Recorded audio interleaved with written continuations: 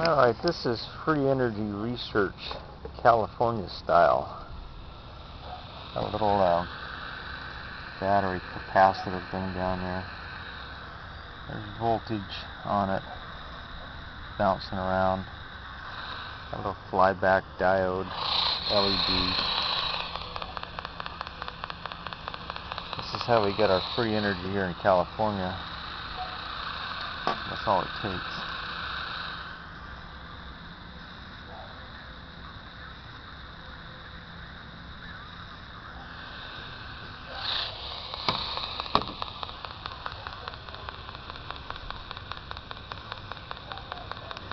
Little tiny solar cells out of one of those waving um, solar wavers. And that's all it takes to tip the scale. That little tiny, little extra bit of energy going into the system. And this is looped. This the um, flyback from that coil comes back through that LED back into the circuit. Can probably hear the motor increasing in speed. This is going up.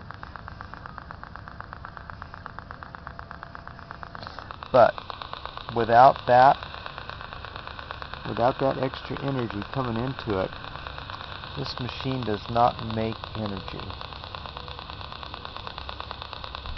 That's the bottom line. No free lunch.